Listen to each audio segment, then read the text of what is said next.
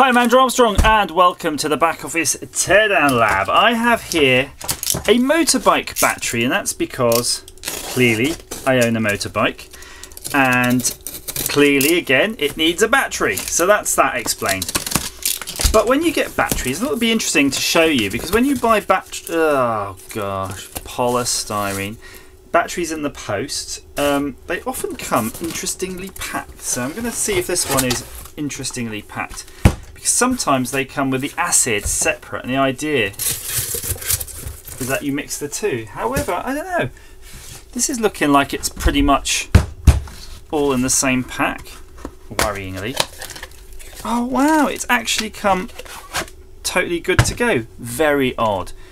I'm kind of almost worried now because I normally use these sort of gel-like batteries which have a sort of matrix in there of fibre.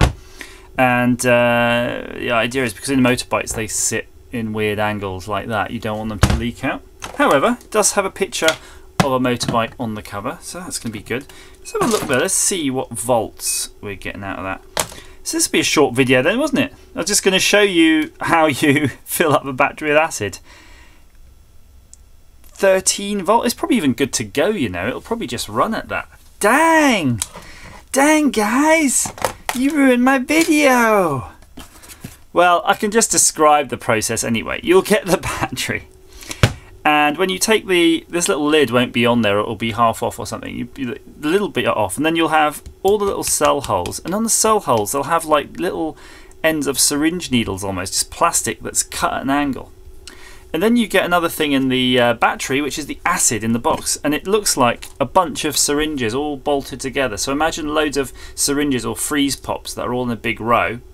And you basically turn them upside down. I'm not going to do this because it's going to leak everywhere and then oh, here's an empty syringe and then you just push it down and then the battery actually perforates the material in the tubes and they all just sort of drop their um, acid slowly into the matrix and my idea was was to do that and measure the voltage while that was happening just to see if the acid is literally as it's filling up and reacting with the different plates which I don't know what they are nickel and something else lead um, would show you the um, volts going up but alas that is not going to be the case.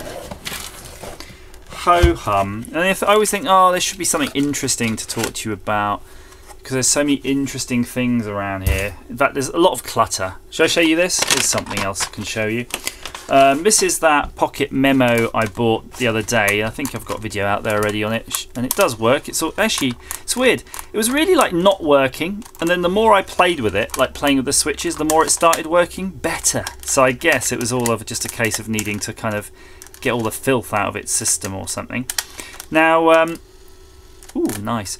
So when I um I tweeted online saying I need some tapes, I tweeted it to uh, Techmoan and uh, in my haste, I didn't wait for his reply, I just ordered some tapes. And I ordered these. And these are called micro cassettes.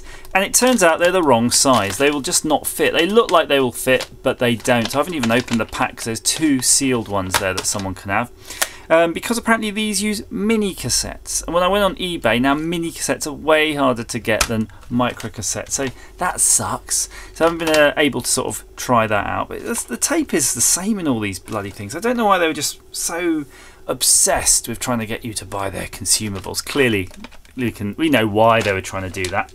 Um, but it's just it's to the detriment of society. So what else can we talk about here? Let's talk about this. So this is a heater um, resistor that you will get in your car. Um, and there is a fascinating thing about this actually. Let's just do a little test here. So basically it's a massive uh, set of resistive elements. So you've got four contacts. I'm guessing one's common. Let's see. This is a dead one, right? So it might not quite do what we expect. But let's see some of these will be common to each other. So in continuity mode I'm not getting anything, so I'm going to put it into resistance mode. Yes. So 1.6 megs across those. 2.83 megs, it's all jumping around. Should be putting, getting my hands off that, it'll be measuring me probably. 1.6, jumping around. Yeah. Uh-huh. Hopefully here it'll be zero. Yeah, no. Hang on a minute. So I want to show you this thing at the top is a thermal fuse, and it's the sort of thing that goes in toasters and coffee machines a lot. Interesting. So what you should be getting though is continuity like that through that, and it's not. So that has actually blown. That has actually blown. So this thing must have got really hot. But that's what's bizarre about this. It was exhibiting a really odd behaviour. So what this was doing in the car was when you had it on like 2 and 3 it didn't do anything and then when you had it on 4 it made everything go dim and the fans came on but the fact that everything went dim showed this was drawing too much current. So this though is supposed to be your, your current limit here isn't it? I mean that's definitely supposed to be your current limit um, on account of it being a thermal fuse. So that blows, you can see that's going up through there. That should be going up through there, yeah. That's going up through there. So these two, 1.8 ohms between them, interestingly. Double check that. So these two are pretty much con connected. So you can imagine this when you're rotating the switch, it's putting this uh, either through this resistor, this or both, whatever combination. I'm not going to draw out the circuit. Um, but you buy these for about three quid anyway, and you can just go underneath your car. If it, this is from a, a Vauxhall, you can just dig around underneath the passenger uh, footwell and pop it out and swap it out with a new one, and it all works, all good. Now these things are interesting. It'd be nice to see if we can decapitate one of those because they work in a really cool way. So as I said, if you find uh, coffee machines and stuff that don't work, more often than not, it's this. And it, it, even the really expensive, like I've got like a, a, machine that was probably about twelve hundred pounds coffee machine, and again, this is the fault. This is what uh, was wrong with it, which is literally a thirty pence piece.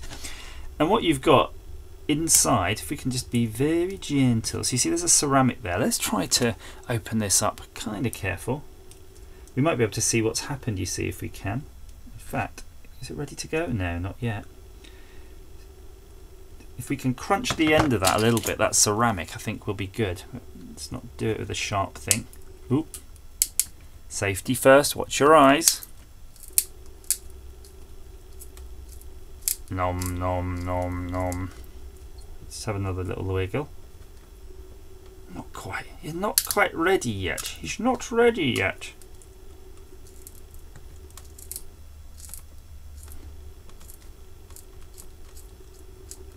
So what should be in here basically is the equivalent of solder wire. In fact, look, there's more ceramic in there. I wonder if it's loaded with ceramic.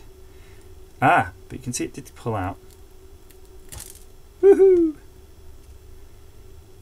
Yeah, we're getting there. Clean that off. And you can see there's actually a nice little end on that thing. But it almost looks like it fits inside a cup. And yeah, there is a kind of... Oh, there it is. Let's dig in deeper Dig in deeper. Sorry I can't zoom in any closer, but you'll see what's in here in a minute. Look, there you go. It's like a spring contact.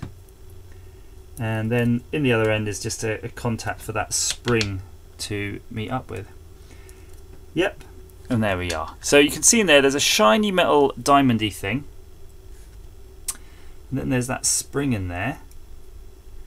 But you can see on this end, there's that pin. So that pin though that's not going to do any good, is it? That's not going to do any good. So all I can imagine is among all of this detritus somehow, somewhere, there's supposed to be a bit something that's fusible that sort of breaks the circuit. But I don't see a ball of solder or anything like that in this one. So you can imagine that's how it's gone together. So I wonder if it's just that spring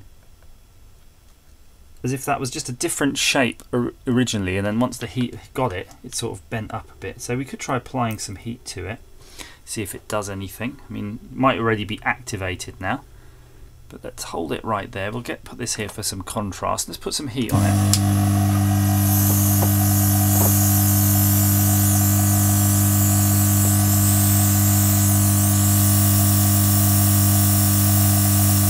Okay, it's getting warm now.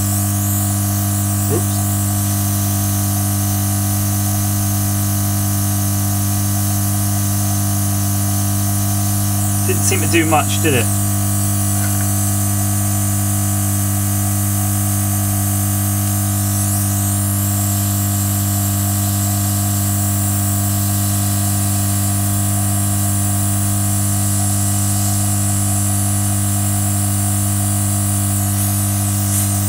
didn't do much either. I'm really, I'm really confounded now. And the little spring has blown off the desk.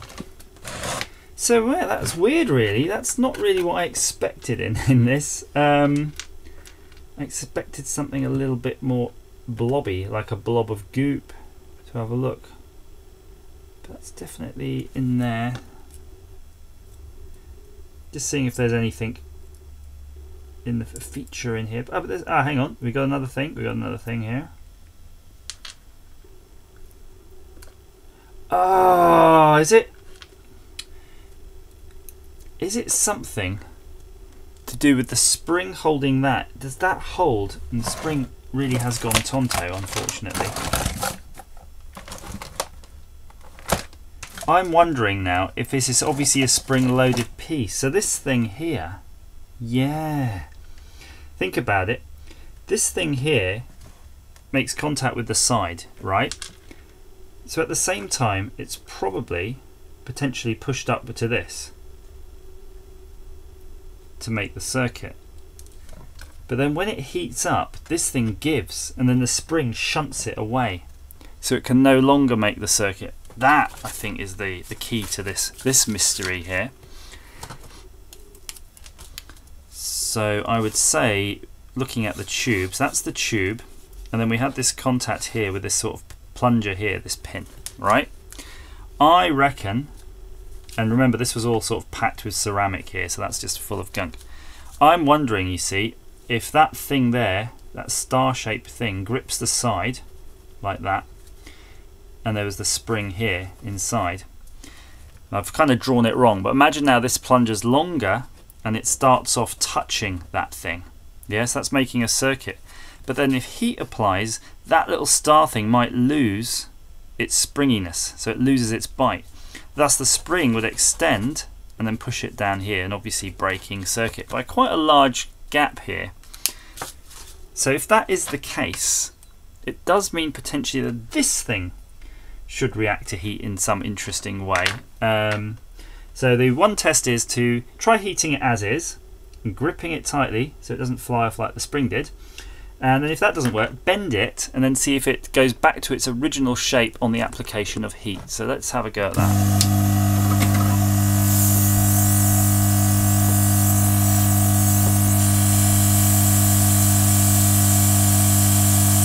We have heat.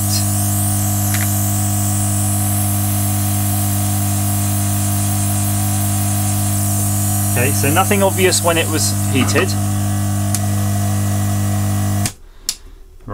So what we're going to do now is I'm just going to bend it slightly because we all know what it looks like now. It's nice and even. I'm going to bend it in the way that it would be gripping, which is be flatter. I'm going to try to make it flatter. Right, so it's nice and flat now. You see it's flattened out? Pretty flat looking.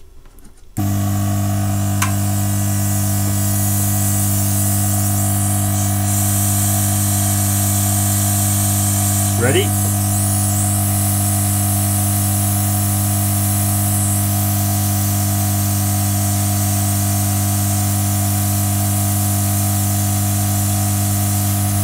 Totally failed.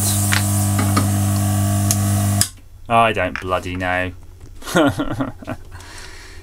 been watching and being so very patient. Um, there's only one thing I can give you of satisfaction. I'm going to say that's a fail, by the way fail. Science. Science fail. Uh, I don't know why. There might have been some other key aspect to this. I might need to buy a fresh one and see what they're uh, and try to dismantle that. Booger. Booger. There's definitely still though an internal uh, ridge in that thing. It's definitely an internal ridge gripping something. Don't know. Maybe it's once once bitten, twice shy. So I'm just going to leave you with one other thing that might satisfy you slightly. So here's Science Fail, and we're just going to go out at least with a bang. Thank you for watching.